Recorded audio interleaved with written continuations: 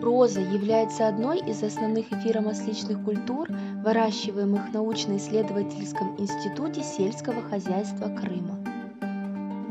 Государственный реестр селекционных достижений, допущенных к использованию Российской Федерации, включены пять сортов розы селекции Института сельского хозяйства Крыма – Радуга, Легрина, Лань, Лада и Золушка.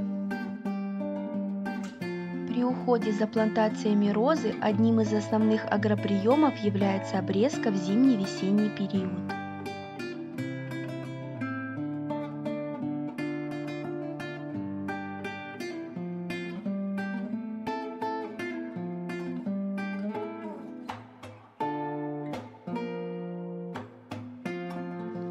При первой возможности выхода техники в поле проводится выталкивание обрезков розы в междурядье на край поля, волокущий в агрегате с трактором Т-25. Дальнейший уход заключается в ежемесячных междурядных культивациях. Междурядье поддерживается в чистом от сорняков состоянии по принципу черного пара на протяжении всего вегетационного периода.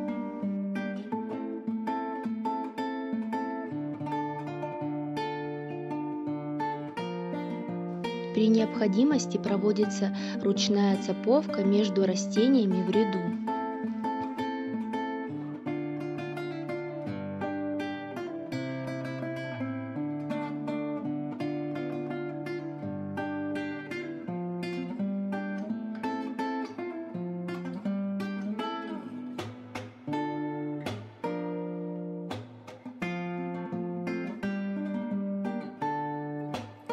В настоящее время в отделе эфиромасличных и лекарственных культур Института сельского хозяйства Крыма, который расположен в селе Крымская Роза Белогорского района, началось массовое цветение розы.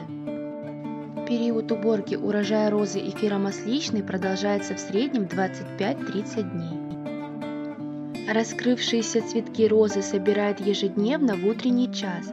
Цветки снимают с растений вместе с чашечкой, перерабатывают их в свежем виде.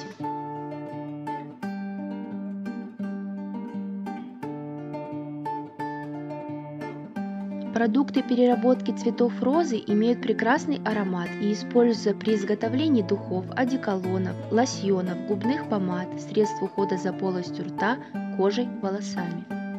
Институт реализует соцветия другим предприятиям, а также использует лепестки для изготовления инновационных образцов косметической продукции, варенья, сиропов и различных травяных сборов.